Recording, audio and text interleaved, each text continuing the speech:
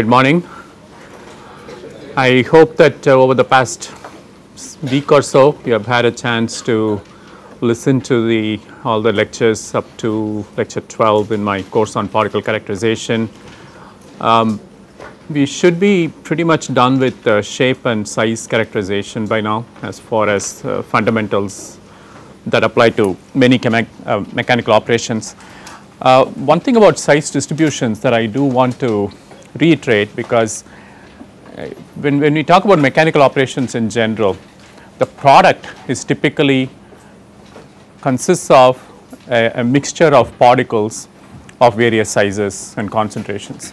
So, whether you talk about you know separation processes like sieving and screening and sedimentation or operations such as size reduction or size enlargement, um, the end product is typically characterized in terms of size distribution. So, in addition to knowing how to estimate the size of a single particle, you also have to be able to obtain the size distribution of a population of particles and methods that we discussed in the last class such as scattering based methods enable you to do that in a fairly cost effective and uh, quick turnaround manner. But um, when we talk about particle size distributions, it is important to realize that there are three types of size distributions that are normally talked about. The first is the normal distribution, the second is the log normal distribution and the third is the power law distribution. Of the three, it is important to understand which ones are particularly relevant for mechanical operations. So, just to recap a normal distribution is one where you start with a, set of particles that are monodispersed. In other words, a set of particles that have pretty much the same size. But then things happen to them which slowly start to broaden the spectrum. So, instead of having a single value, you start having a mean value and a distribution around this mean value. And ultimately, once you have a sufficient number of particles analyzed, you will get a normal distribution which has a mean which has a standard deviation and you know classical laws of statistical analysis can then be applied to understand the variability in the process, the uh, process capability limits and so on. Now unfortunately normal distributions rarely happen in nature and they definitely do not happen when there is a mechanical operation involved. The most common particle size distribution that you see in nature is the log normal distribution. Um, in a log normal distribution, if you plot logarithm of count to the log squared of size, you get a straight line, right. Now, what type of processes lead to log normal distributions? Well, it turns out that in a log normal distribution, what you see is that there is a preponderance of fine particles and there is a, a rapid reduction in counts as you go to larger particle sizes, right. Now, why would that happen in nature? In nature it happens because if you recall the trimodal distribution that I sketched in the last class, the, the first particles are nucleated in the environment for example through condensation phenomena that give rise to extremely fine particles that are in the nano or even sub nano range. And then agglomeration processes or aggregation processes have to happen for these um, nucleated droplets or particles to grow to the next size. And then other phenomena have to come into play to produce more particles in a larger size. So, if you look at particles that are you know in, in the uh, atmosphere around you, you see a log normal distribution typically.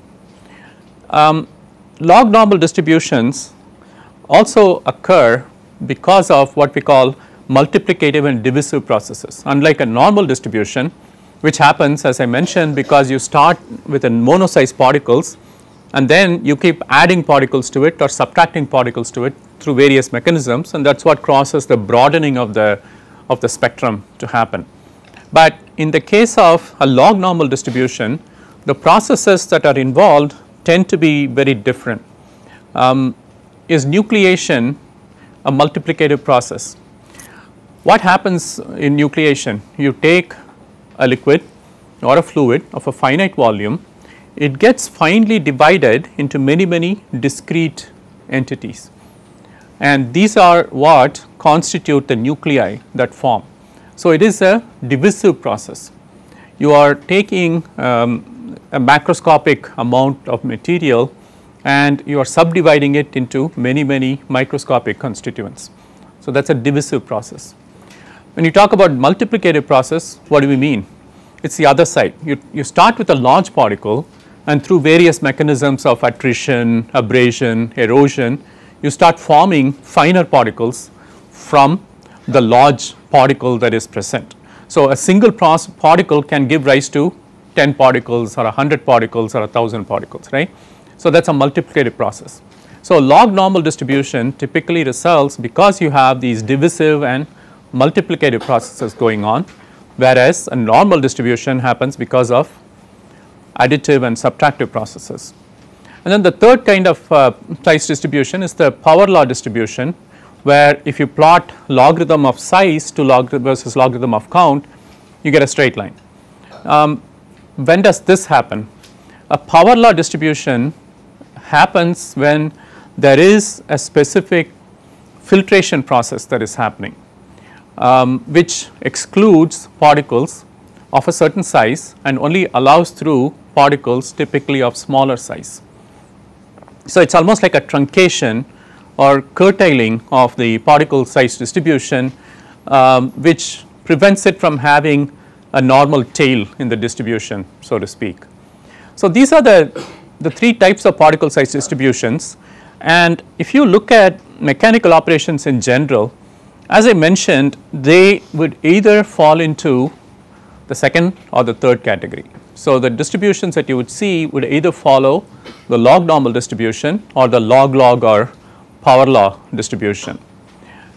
Um, and there are ways in which you can um, use these relationships to set specifications for processes and for facilities as well.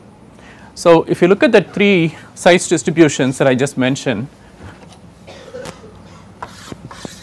So, one basically looks like this through this uh, some normal and you know there is a sigma. So, this would be a typical normal distribution.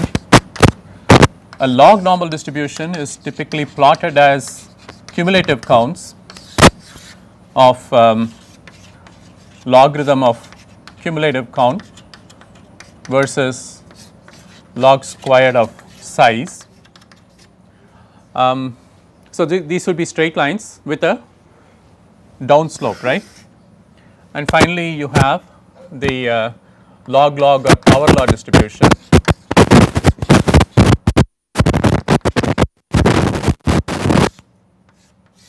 Where if you plot logarithm of count to logarithm of size again you get a straight line. In general as particle size increases counts will decrease that is how nature operates. So, for every particle that you can see there are hundreds and millions of particles that you cannot see. For example, this room you may see a few dust specks if you look very close, but remember that for every speck of dust you can see there are literally millions of particles that are finer than that that you are not able to see with your naked eye, but if you had some good visualization or scanning equipment you could see. I mean this room is just loaded with particles even though we do not really see them. Um, and so they all show this characteristic uh, downward slope, it is only that the, uh, the relationship between size and count is different. And by the way each of these is uh, referred to as a, a level. And this is referred to as a class. And this is based upon the slope and the intercept. So, for example, you can take 0.5 microns as your reference size. And the count corresponding to the 0.5 microns um, let us say that is accumulating on a surface per square centimeter. Uh, let us say that this is 1000.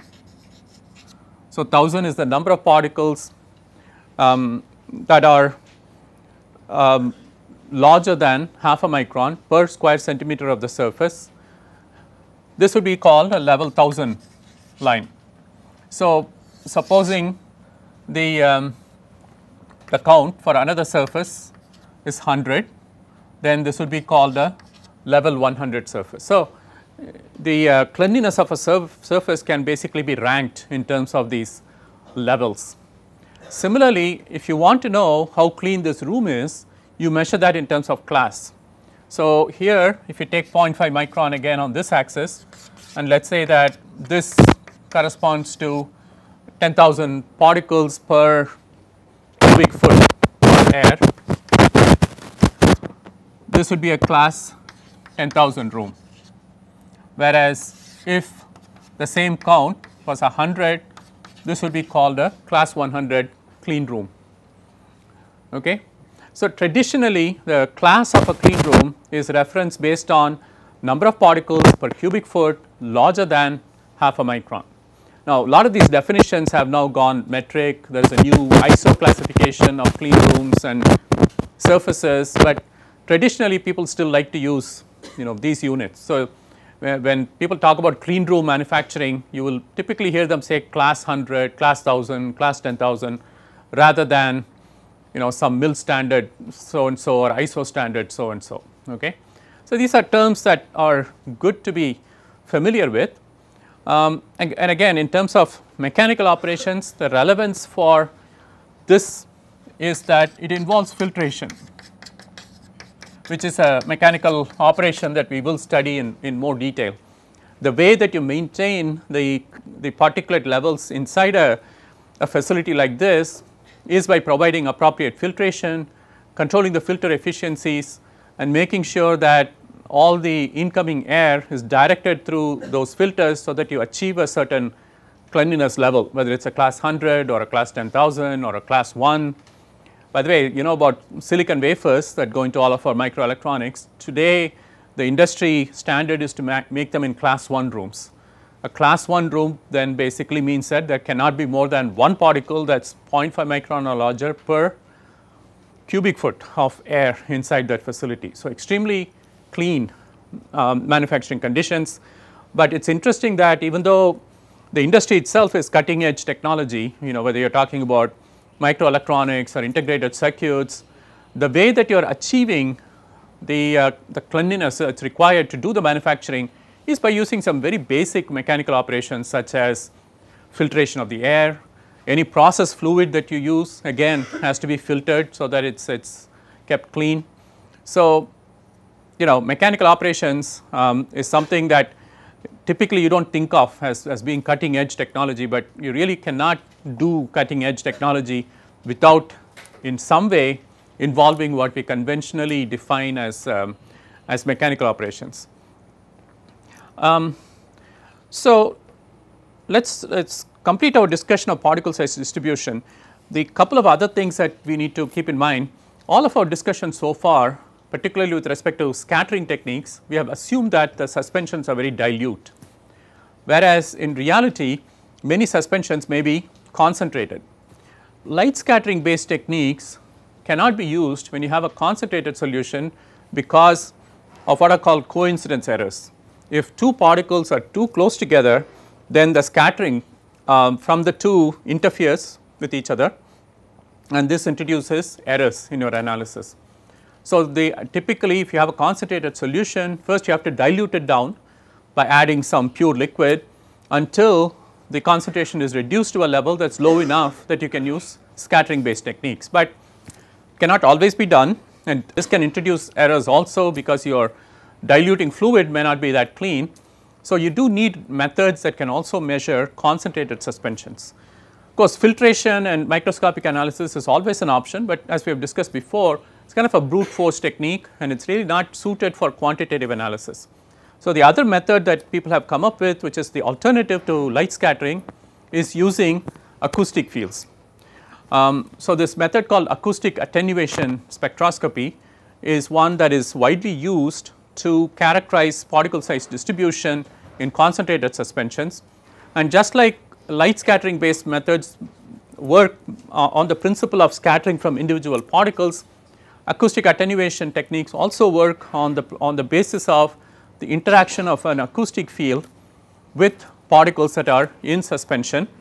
Um, it has advantages in the sense that the concentration of the sample uh, does not have a negative influence on the on the results.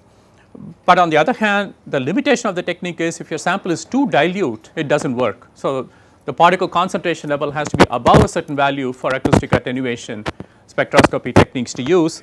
And also as I have explained more in more detail in my lecture on NPTEL, you really need to scan the acoustic field at multiple frequencies in order to get a clear definition of the size distribution that is present.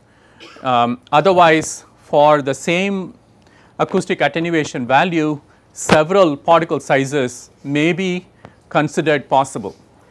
And so, but if you use um, essentially a spectroscopic technique where you cycle the ultrasonic um, or the acoustic frequency through multiple values, you can obtain a unique size distribution. So, this is a method that is currently used widely particularly in industries like for example, if you are trying to polish a surface, you require a, a slurry to do that. You know slurry based micro polishing is widely used in many industries. In polishing using a slurry, clearly you need a high concentration of the slurry to make the process effective. But you also want to characterize the distribution of particle sizes in the slurry and relate them to surface polishing rate and so on. For that acoustic attenuation spectroscopy is considered the most um, desirable method. In fact, we have one in our lab uh, if, if any of you want to take a look at it, it is in the second floor of the um, chemical engineering laboratory building. Um, the other aspect of particle size distribution that uh, we should be aware of is nanoparticles. Um, nanoparticles present certain challenges. The, there are three that are really difficult to deal with. The first is that the scattering intensity drops as dp to the power 6. So, when you go from micron size to nano size, the light scattering intensity can drop by 10 to the power 9. And so, uh, scattering based techniques cannot be relied upon when you when you are trying to measure size distributions of nanoparticles. The second difficulty is nanoparticles are very mobile. Um, they tend to diffuse at very high rates. So, it is very hard to keep them in place and analyze them, they just keep moving around. The third problem is that they tend to agglomerate quite easily. So, a nanoparticle will stay in suspension only for a limited period of time. There is a natural tendency for nanoparticles to find each other, stick to each other and form larger agglomerates. So, these are the three major challenges in measuring size distributions of nanoparticles um, which are of course increasingly emerging as a focus for chemical process industries. So, how do you address this? The first thing is three different sizes have been defined for nanoparticles. There is something called the primary particle size, there is something called the aggregate size and there is something called the crystal size. Um, the reason we do this is you know if you look at if you look at a particle um, in the nano size range it is very very rare to find these particles existing in isolation you know initially you may start with a distribution like this but quickly you start forming these agglomerates right. So, when you say size or you clearly there are two sizes you can think of the size of the individual particle before it agglomerates is what we would term a primary size. And then once it agglomerates and forms a stable agglomerate we would call the size of that agglomerate the agglomerate size. But in addition there is a third size that we need to be aware of because many nanomaterials in particular have crystalline structures. The crystal size is another important parametric because the crystal size may decide the functional properties of that nanoparticle. So, in terms of the magnitudes crystal size is the smallest, primary size is the next larger and then the aggregate size is the largest. So, you need to have size measurement methods that can measure these different sizes separately. So, crystal size is typically measured using an instrument called XRD, X-ray diffraction analyzer, which uses Bragg's law to measure the degree of crystallinity of your sample as well as the size of the crystal itself. So, XRD is the primary technique for measurement for determining the crystal size. For determining the primary particle size which is the individual nanoparticle, a technique that seems to work well is called DLS or dynamic light scattering. So, again the crystal size you measure using XRD, the primary particle size you measure using DLS, it is also called photocorrelation spectroscopy. DLS stands for dynamic light scattering. So, the way this works instead of trying to fight the fact that nanoparticles move around quickly, the method actually takes advantage of the fact that nanoparticles move around quickly. So, in dynamic light scattering, you take an image of the particle at one position and then you kind of look at it again um, some finite time down the road and see how far the particle has moved because that can then be correlated to the diffusivity of the particle which of course depends on the size of the particle. So, dynamic light scattering device actually measures the displacement of nanoparticles as a function of time and uses that to extract information about the size of the particle. Of course, the basic assumption would be spherical particle. But uh, given that assumption, it is a reasonably accurate method in determining um, the size, dis size distribution of primary particles in the nano range.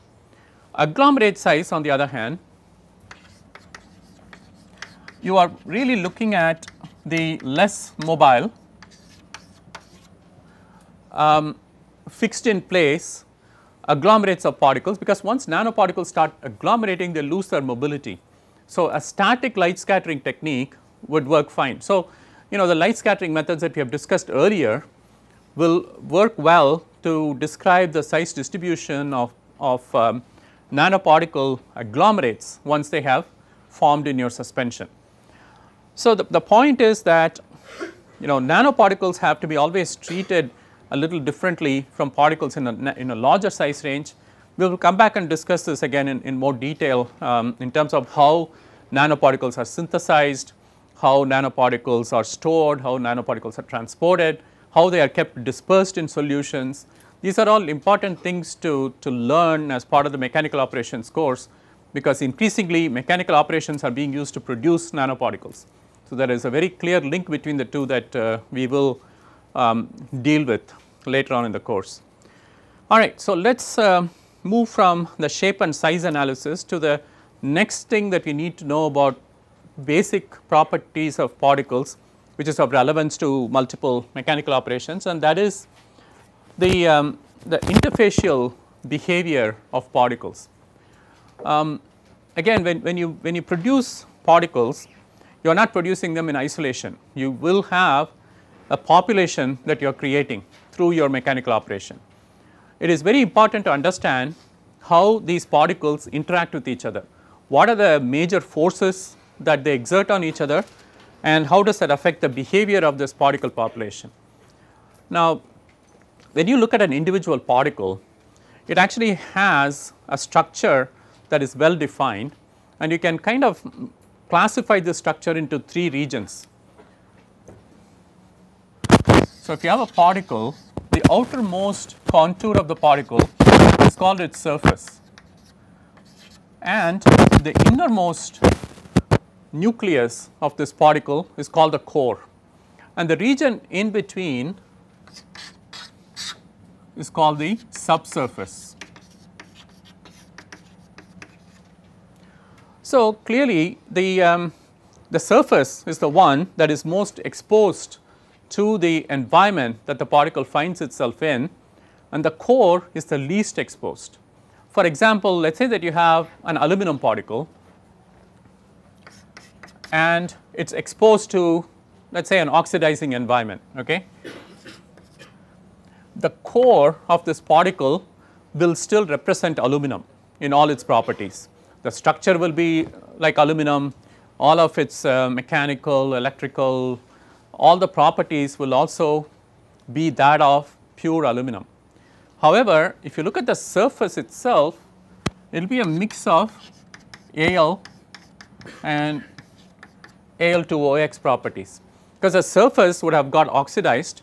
So, the surface of this aluminum particle would have properties that are not only representative of aluminum, but also of the various oxides of aluminum. And then what is going to happen in the region in between? Are we going to see the core properties persist till here and then there is a sudden change to surface properties at the surface? No, that is not how it happens. In fact, the subsurface region provides a gradient for all the properties. So, there will be a gradual change in the properties of the particle from its core value at the center of the particle to its surface value on, on its outer periphery which reflects the circumstances that the particle finds itself in.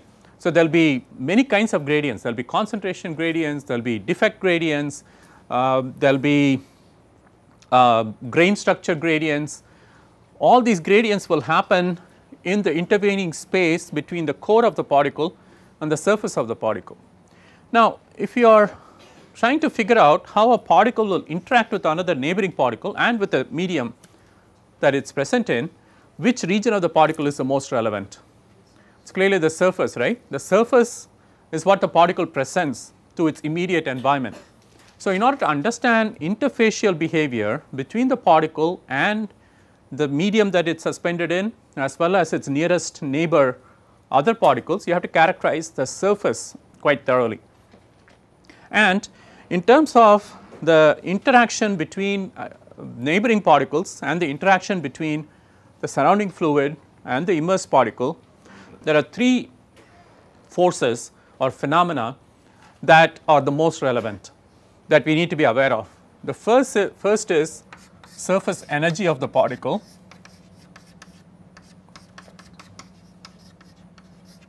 The second is um, inter intermolecular or interparticle forces. These are the van der Waals forces. And the third is adsorption.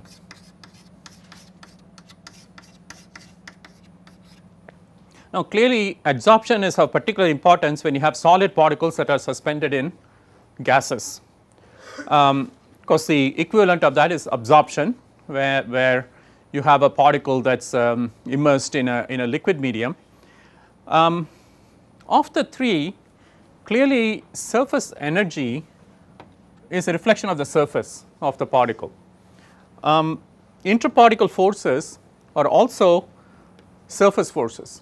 However, adsorption slash absorption can involve not only the surface, but also the subsurface and if chemisorption is involved it can even in, in, incorporate the core of the particle right because when, when you adsorb something or absorb something it does not just stop at the surface it then diffuses to the subsurface eventually to the core. So, of the three adsorption slash absorption involves virtually the entire particle whereas surface energy and interparticular forces are mostly reflective of the of the surface itself. So, what is surface energy? The closest equivalent is surface tension of a liquid. Surface energy is a reflection of the readiness of the particle to react with its environment. The higher the surface energy of a particle, the more reactive it is with the surrounding fluid as well as with adjacent particles. Uh, a way to also think about surface energy is it is the energy that is left once the surface has been created. So, when, when you try to create a surface it involves energy, but not all the energy is used up in creating the surface. So, the excess energy that is left over when the surface is created is called surface energy the more the excess energy that is left over, the more ready the particle is to interact with whoever comes near it, right, whether it is fluid molecules or whether it is um, its adjacent particles. So, surface energy is a crucial parameter and um, because it really determines how ready the particle is to react or interact with its nearest neighbors. So, the definition of the um, surface energy is, is also important and there is a thermodynamic definition of it which um, uh, goes as follows.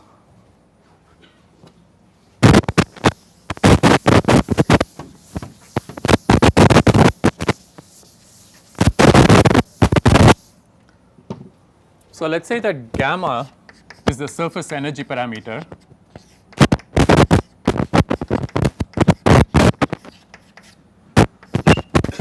and let us say that dA is the surface area that is created. Okay. So, then gamma times dA can be related to dE minus TdS plus summation mu i dNi where dE refers to the surface excess of internal energy, ds represents the surface excess of entropy, mu i is the chemical potential of the ith species and dNi represents the surface excess of atoms of species i. Okay. Um, now, uh, F equals E minus Ts right that is a Helmholtz free energy. So, so if you substitute that in this you can rewrite this as df plus sdt um, uh, sorry this should be a minus sign minus summation over i mu i dni. So, from this you can define you can derive a, a definition for surface energy as del A um, actually del F over del A at constant temperature, constant um, Ni and constant volume of the system also. So, this is the classical definition of surface energy. It is the rate of change of Helmholtz free energy with created area keeping temperature constant, keeping Ni constant and keeping the total volume of the system constant. Now, this is a thermodynamic definition of gamma. However, experimentally it is very difficult to estimate gamma using this equation. So, experimentally the way that surface energy is measured is similar to the way surface tension of liquids is measured. How do you measure surface tension of liquids? Any idea? Has anybody done surface tension measurements? What do you what do you measure typically when you are trying to measure surface tension of a liquid? What is the one parameter that's that's affected most sensitively by surface tension? Contact angle, right? So, in order to measure surface tension, you would basically take a surface, deposit a drop of the liquid on it and you will find you know what angle it makes. Um, so, if you get a high angle of contact what does that mean? It has low surface tension right. Uh, it is not wetting the surface very well, wettability is very poor, the liquid tends to bead up on the surface, it is not spreading on the surface. So, the contact angle is very high. Um, whereas, if it is a if it is a, um, a liquid that wets the surface very well, then it will form um, a film like this and the contact angle will be very low. So, what does that mean? It is basically high surface tension right. So, typically the way that you would measure surface energy of a particle is very similar except that in this case what how, how are you doing this when you use this method contact angle measurement or goniometry as it is called to measure the surface tension of a liquid you assume that you know the surface tension of the solid and you are measuring the surface tension of the liquid relative to that. When you are trying to measure the surface tension or surface energy of a solid, the process is reversed. You take a liquid of known surface tension, actually you take 3 liquids of known surface tension, deposit it on the solid whose surface energy you are trying to calculate and find the, um, the, the contact angle that it makes in every case and you can use that data to then extract the surface energy of the solid because you know the surface tension of the liquid you can use this data to obtain the surface energy of the solid. So, you can use the same technique it is just that the way you use it is slightly different in the two cases. So, one way to measure surface energy is by measuring the contact angle of known liquids on that particular material and from that extracting the surface energy information. Um, another way to look to calculate surface energy is by looking at its, its, its effects. You know one of the effects of surface energy is in promoting adhesion. So, you can if, there is a particle whose surface energy you do not know and you are trying to measure, you can bring it near a surface and look at the force of adhesion that it develops. The higher the force of adhesion, the higher the surface energy of the solid. And how do you measure this force of adhesion? One technique is using an atomic force microscope or AFM. And AFM is a very, very sensitive technique to look at molecular level forces of adhesion between two surfaces. So, you can actually use an AFM to measure the force that develops between the particle and a surface that it is being brought close to and you can use that as an indirect estimate of the surface energy of the particle. And similarly, if you have particles in a, in a flowing suspension, you can measure the cohesive force between the particles and use that as an indirect measure of the surface energy of the particle. So, in general if you have an application where you want highly adhesive, highly reactive, highly cohesive behavior, you want to synthesize particles that have high surface energy. On the other hand, if you want to have a system where you know there is very little cohesion, there is very little adhesion and you want the particles to kind of be independent of each other, then you want to make particles that are of low surface energy. You know in terms of materials classic example would be Teflon.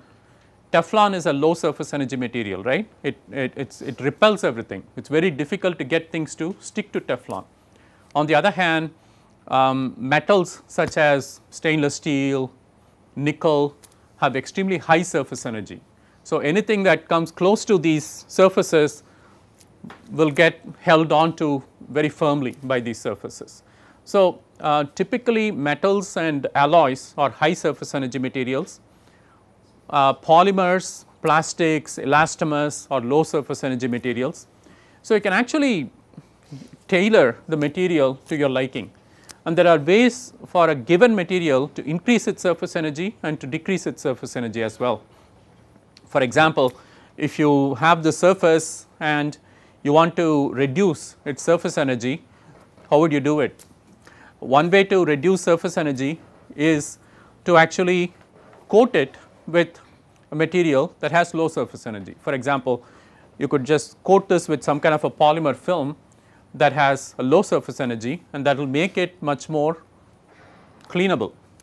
In fact, that is one reason why um, these um, adhesive films are typically put on uh, metal surfaces in order to make it more cleanable. You might have seen even in household furniture, they put these protective coatings right on sofas, on tables, spray on coatings and the reason they do that is to make it more cleanable.